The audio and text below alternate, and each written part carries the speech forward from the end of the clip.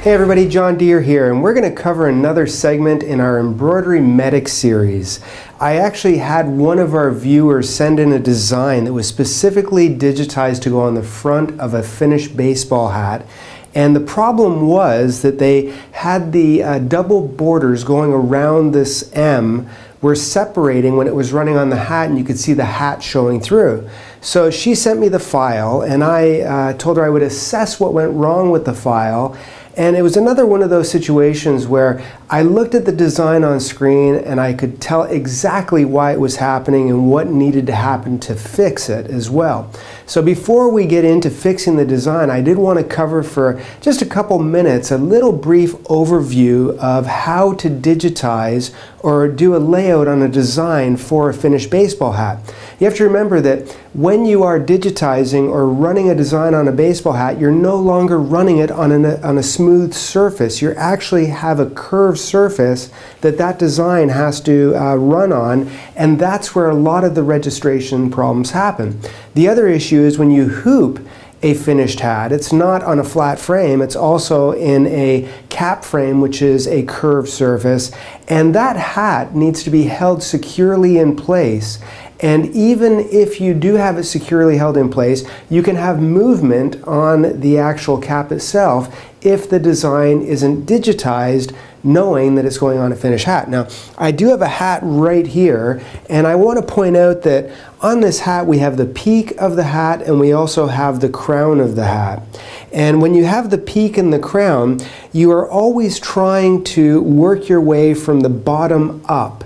You want to uh, digitize your designs if you have taglines on them so that the tagline is closest to the bottom where you have that uh, peak meet the actual crown. And you want to do any of the embroidered elements first because if you do a large piece of embroidery and then do that tagline last, the design may have moved in the hat and that tagline will actually come out looking like this, you know, one direction or the other, as opposed to being perfectly straight. So besides having a bottom-up rule, you also have what's called an inside-out rule. And the center seam on this hat, this center seam is actually what I like to call the Bermuda Triangle of embroidery. Uh, in the commercial days, we would actually lose things in that center seam. You can actually lose the letter I in that center seam. And that's one of the main reasons why I try not to have any vertical fills going on designs that I know might possibly run on a finished baseball hat. Because a vertical fill stitch going on a vertical seam, it'll literally stitch into that ditch and have to come out again, and you lose all kinds of integrity with how it looks. So I want to make sure that I digitize or create my designs so they start from the center seam and move out on either direction. It's called the inside out bottom up rule. And that's how I have to look at a design when I'm actually digitizing it. And I also have to look at those rules when I'm actually going in to edit the design. So I'm going to do a quick edit on this design and I'll show you all of the flaws that I actually uh, saw within it and what I did to actually make sure that it would run perfectly on a curved surface. Now that I brought the design in on screen, I want to take a quick look at it and just see how it's going to run. So I'm going to use my player and go through the design and I can fast forward a little bit. The first thing that I noticed was I wasn't exactly happy with the direction of the stitches for this fill. If you can see, the fill stitch is running almost completely vertically. It is off on a slight angle, but I would prefer not to see a fill run in this direction on a finished hat because again, it just doesn't have a tendency uh, to sew out as well as it would from top to bottom on a horizontal. So that's one thing that I would change. The next thing that I saw when I get into the next color is it does all of these little objects, which is fine because these are, you know, dimensionally behind everything else. I'm not exactly crazy about the underlay choice uh, as far as using a zigzag with a, a, center run. I probably would have liked an edge run underlay to promote crisp edges, but this is where the real issue starts. They have this first color going down and they use a zigzag stitch and then after it does the zigzag with a center run, it continues to do a satin stitch. Now I would definitely be using an edge run for this border to promote clean edges and then the overlap of this is not going far enough into the next color because I can see when it gets to the last color white it actually does a center run and then it actually does the satin stitch and there's very little space between the two. It does the the gray does overlap into the white a little bit but for a finished hat sewing on a curved surface it's not nearly enough in my opinion. The other biggest thing that I see is all they have is this center run underlay there's absolutely nothing stopping these two stitches from basically sinking into each other and disappearing. That's why edge run underlays are so important when you have two satin stitches that are in essence following the same direction. We need that break wall in there when it's done. So now that I've assessed the design, I'm going to go in and start to make the necessary changes and I'll probably start with the fill stitch and I'm going to change the direction and add some underlay. Now I will mention one thing before we get started when I saw this design uh, first come to me, I did get a little bit excited because it was actually in the native EMB format. It actually came in an EMB format, and that usually makes it much easier to edit a design if you have the same format as the software you own because Hatch does read and write EMB.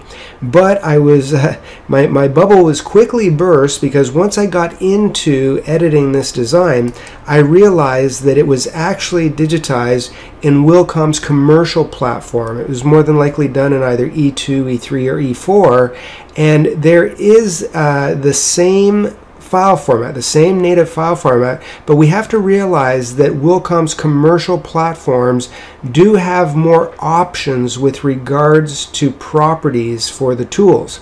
So I'll be I'll be showing you that a little bit later on with this gray border.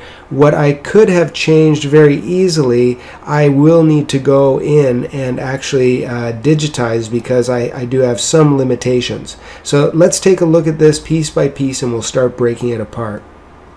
Now the first change I'm going to make is to that fill direction. So I'm going to go in, I'm going to turn off the true view, and once I have turned off the true view, I'm just going to grab that fill, I'm going to select it, it's highlighted now, and then I'm going to go to the reshape tool, and I can see here is my stitch angle.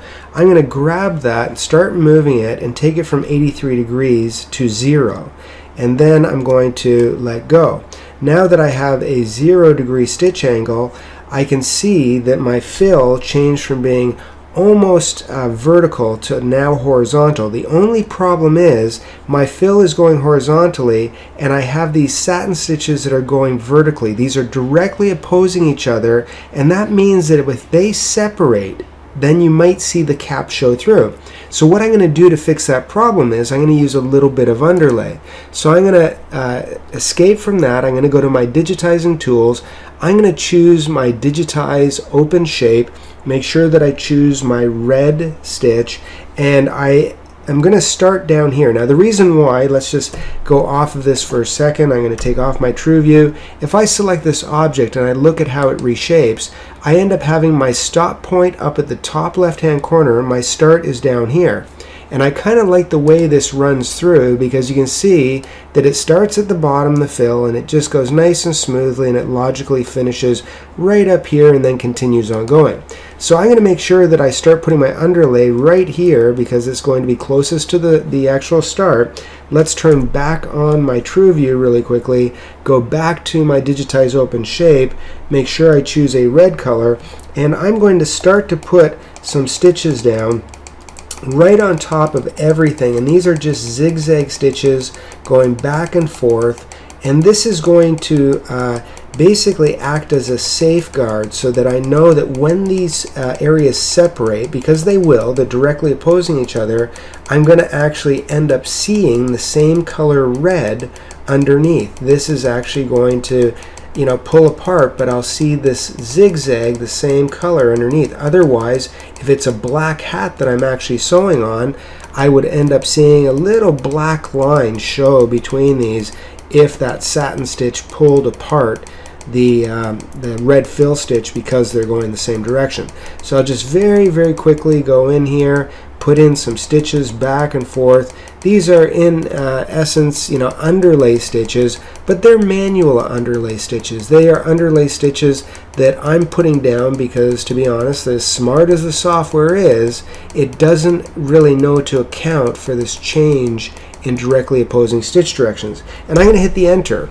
And now I can see that all of those stitches are on top of everything. It's actually the last object in my sewing order. So I'm going to grab that last object and I'm going to move it up to the very first object and we're going to see that those stitches now disappear. They're at the beginning of the design and now I know that if these areas separate, it's not going to have any disastrous results. Now I'm going to fix the next easiest problem next because I, I don't really mind the golf clubs. I can live with those. I could go in and change the underlay to edge runs, but even that doesn't bother me too much. What does bother me, and let me turn this off for a second, I'm going to grab this one right here, and I'm going to actually make this a different color just so that hopefully we'll see it on screen a little bit better a little more intensity. Uh, you can see that this border that is done at the very end of the design actually has just a center run. And what I want to do is I want to go into that, I want to go into the objects, and I want to make sure that I go to the stitch effects, and I'm going to change it from a center run to a edge run. And this way I can see now I have an edge run underlay going around the outside and this is going to be acting as my break wall for the design. The only other problem that I really can see here is this object right here and it's turned pink now, that gray, you can see, and let's zoom in so we can see it, there's not enough underlap right here within this object, and that's why you're having separation between those two. If I turn my true view on, the problem is uh, the person who gave me this file said that they were seeing separation between these two, two satin stitches and that was the main problem of the design. So I'm going to have to go in and edit this outline right here. Now the only issue is Originally, I thought it would be a pretty easy fix. I, I, don't necessarily like how clean some of these objects here. At the bottom of the N, M on the inside, you can see that they, they don't look 100% sharp and clean. And as a digitizer, this would kind of bother me, how it has that curved appearance. Also, the fact that they don't necessarily line up from one side to the other uh, across here. This is actually something else that I'm not overly impressed with. But I didn't, you know, I didn't digitize this, so obviously it was it was done by somebody else, and I can't fix every mistake. But what I thought I'd be able to do is grab this object. Let's turn the true view off, and I have that object, and I can see in my stitch outlines that this is actually what I'd like to call a uh, in, in commercially it's called an input C. They actually call it a satin stitch outline, and in Hatch they give you two different options. One is a uh, offset that runs across one side, and the other one, which is a normal, runs in the middle. The difference is if I start to change these, it's going to really start messing around with the original. Let me just turn this on and I'm going to undo both of these. I'm going to undo here and I'm going to undo here. And that was the original. And as I change those properties I have no real control. So if I did uh, have this file and I was using the commercial program I could actually control the amount of offset just underneath the area where it's touching the blue. But that's not an option here. So I'm going to have to redigitize that one section of the design and then resequence it. Now what I'm going to do is I'm going to grab that object that I changed to blue and let's change it back to that white color so that we can see it on screen. And remember I'm going to be changing what is on the inside, not what's on the inside of this object, but what's on the outside, where these two areas are touching. But right now I end up seeing a whole bunch on screen, and especially when I'm at my 6 to 1 scale, which is I'm going to be digitizing this at, I'm going to be uh, wanting to narrow it down a little bit. So I'm just going to grab that one object and I'm going to tell it to hide all of the unselected objects. So now I have all of the unselected objects hidden. And this actually gives me a little bit of a cleaner picture when I actually want to digitize. Because I'm going to come in here now, I'm going to choose my digitized blocks and I'm going to choose a different color. Let's just choose um, the um, royal blue color and I'm going to start right here and I'm going to put a point down and I'm going to overstitch and try to be fairly consistent. I'm going to hold the control key down because that'll give me a straight line and let's try to clean this up a little bit better than uh, how it was digitized in the first place. But I'm going to I'm going to do this one here, this one here, this one all the way over to here and I'm basically exaggerating all of these points and redigitizing this object and uh, probably making it a little bit better as far as you know being technically perfect is concerned. Actually, let's just go back one. I'm going to hold the control key down, give me a straight point, make sure that I try to stay consistent with my outlines, and I'll come on the uh, inside here. Let's do that piece. Let's do this piece. And I'm just going to continue to go all the way around and what I'm doing now is I'm actually providing a little bit more overlap as I'm moving forward. Now this one I'm going to have to do manually. So I'll come over here.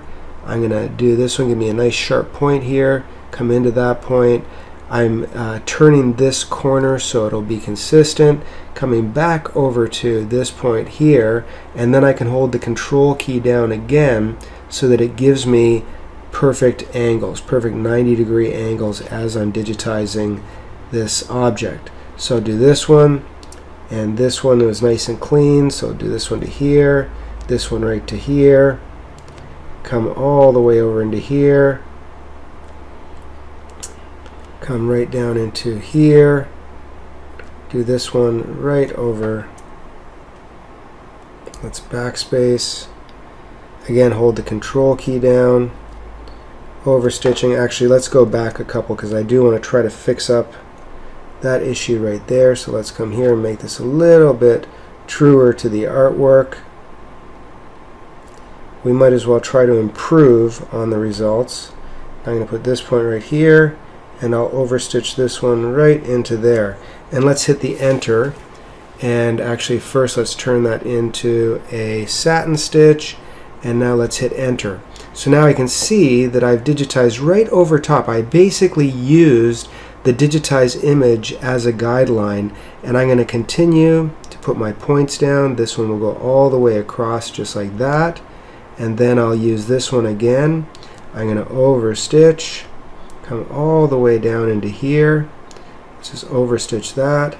Come here, use this again as a guideline and then do that piece and then come in and do this tiny little piece right here. So what I've done is I've redigitized all of the elements of that object and now what I'm going to do is I'm going to take these that I just finished, I'm going to grab all of them, I'm going to move them up in the sewing order so that they are placed right before that. I'm going to take that one object that I used as a template and I'm going to actually delete it and then I'm going to take that color that I just did in the blue and I'll turn that one into the same gray color. So there is my object that I digitized to replace ones. Now the only other thing that I want to do to this is look at the underlay. I want to make sure that I use not a tatami underlay but again an edge run underlay. This way I'll have two edge run underlays that are going to be working within that file. Now when I turn everything back on, let's just come over here and we're going to grab that object and we're going to tell it to unhide everything, so unhide all, and let's escape and let's turn back on the true view. There I have my design and it's done and if I look at how much it's overlapping now, I can basically see that the overlap is much more extended than it was before.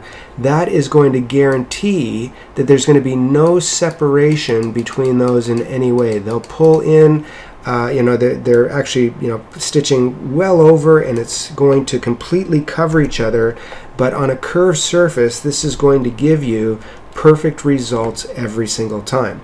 So I was able to go in and fix up that design. Again, I could come in here and start grabbing all of these objects and this is where I just probably get a little pickier than most people would but if I turn my true view off I don't like the underlay in there so I'm going to come back in here and let's change that from a zigzag to an edge run that would make this run a little bit better as well and while we're at it we might as well take these two objects as well. Let's keep it a tatami, but let's add an edge run because edge runs always give you cleaner defined edges. And now when I look at how this design sews through, it basically has the exact same sequence as it did before. Let's turn on the true view. But now it does my underlay stitches that is they're going to basically uh, help to avoid any separation because I now have a horizontal fill instead of a vertical fill. Then it does all of those clubs, but now I have the proper underlay. It's doing this border that has a significant amount of overlap, and then it does an edge run with the white stitch finishing around the edge. And now we have a design that, in my opinion, it actually looks better than the original and guaranteed it's going to sew better. Now you can see by making a few changes to that design as far as stitch direction, underlay, and exaggerating the stitches where they met will greatly increase the odds of it running perfectly on a curved surface every single time. So I hope you've enjoyed this embroidery medic series and I do have a special invitation for you. I want you to send us your sickly designs via Facebook message at John Deer's Embroidery Legacy and the link to our page is in the description below and don't forget to give it a like. I'm going to try to take a look at as many designs as possible and use them on future episodes. So I'll do my best to get to all of them if I possibly can. Hi everyone, John Deer here and thanks for watching this video. If you've enjoyed it, please be sure to give it a thumbs up and share it with all of your friends. Also, to become part of the legacy, be sure to hit the subscribe button and don't forget to hit the bell to be notified every time we release a new weekly video. So join the legacy now. It's no mystery, award winning embroidery is our history.